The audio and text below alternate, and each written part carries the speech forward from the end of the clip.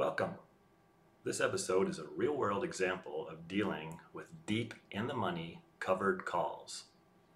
If you're new to covered calls, this is a situation you need to understand. It happens when the stock price of one of your covered calls shoots way above your strike price.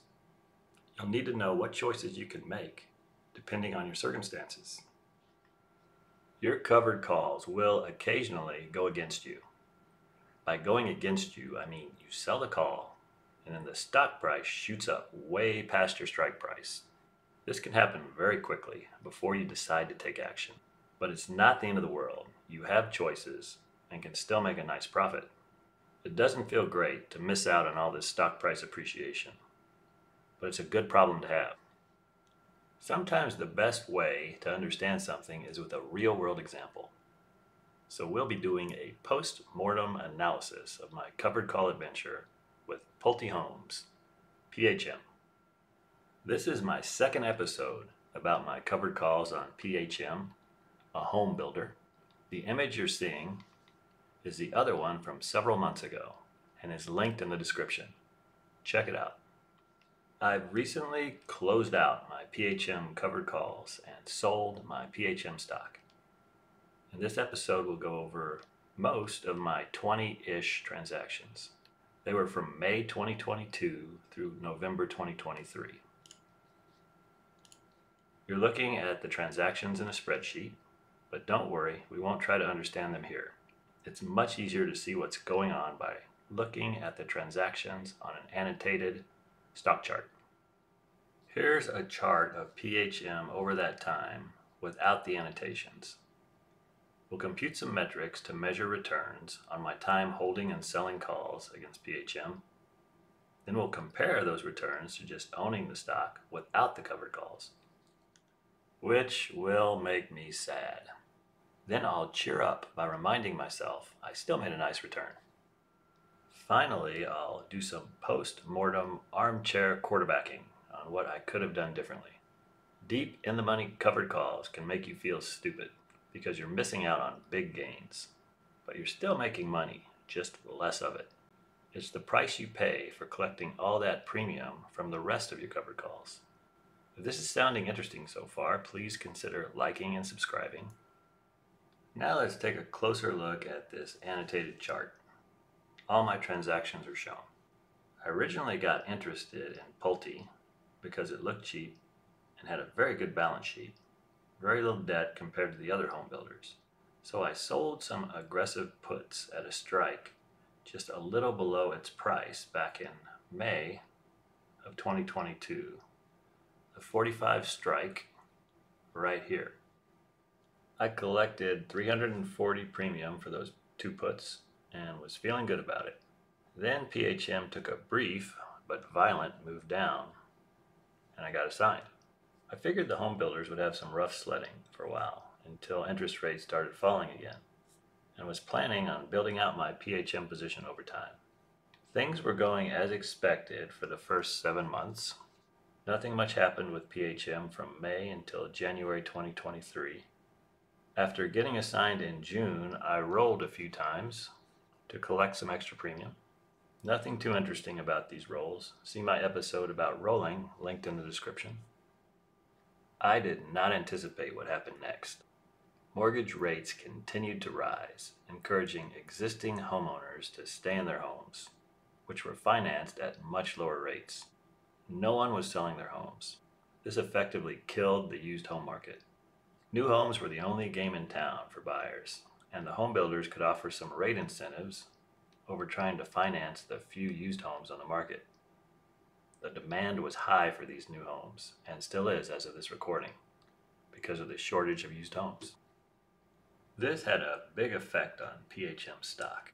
When this effect first started, I had rolled up and out to a 50 strike leap covered call to try and capture some more of the stock price appreciation.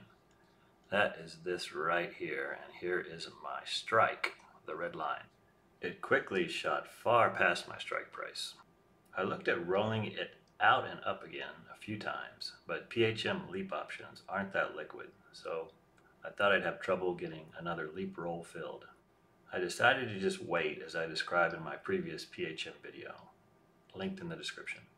PHM would either come back close to my strike and give me another opportunity to roll, but this did not happen. Or it would eventually get so high that the option would lose almost all of its time value, which would let me close out the option and sell the stock without paying much time value, which is what happened.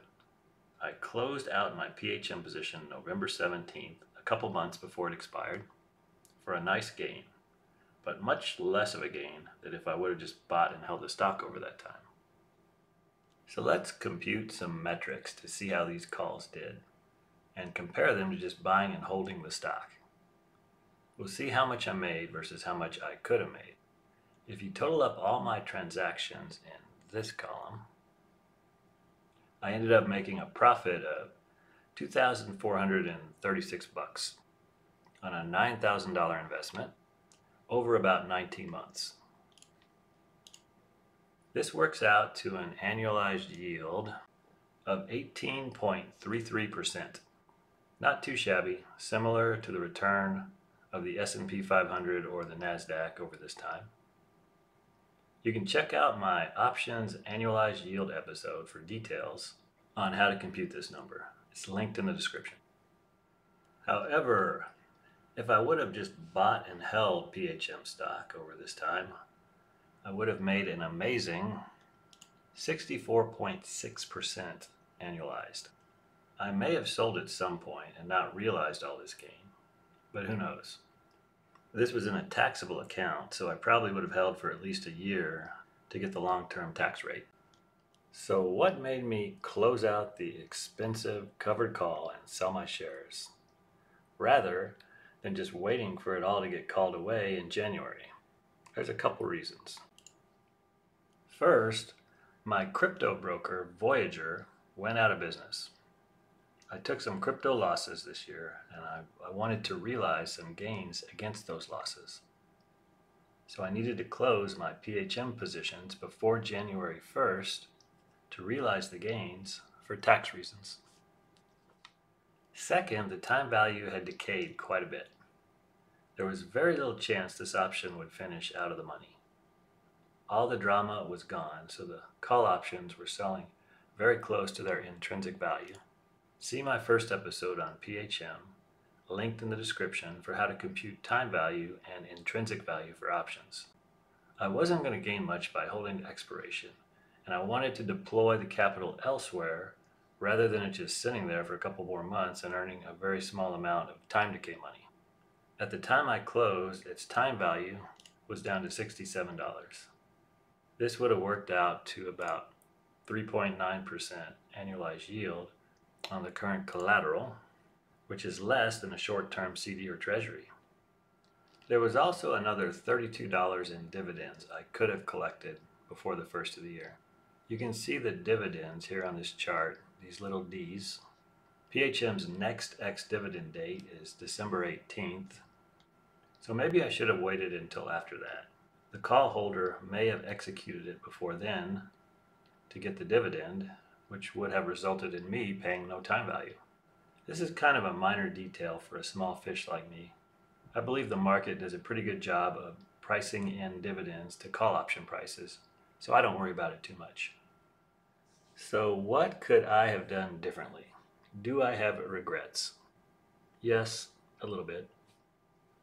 I wish I hadn't been so quick to roll down here and here and when rolling out to the leap call here, I wish I would have collected less premium and gone to a higher strike.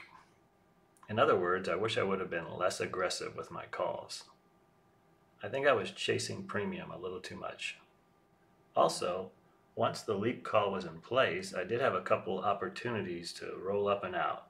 In early January, right there, and then maybe here in March, but I chose not to.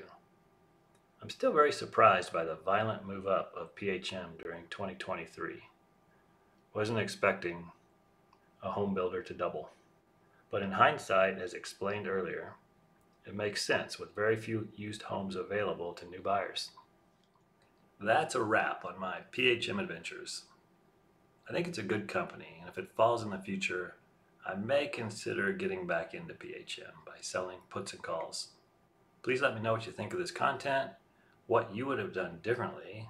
I really appreciate any feedback and comments. If you enjoyed the content, please consider liking and subscribing. I'm not a financial advisor. This wasn't financial advice.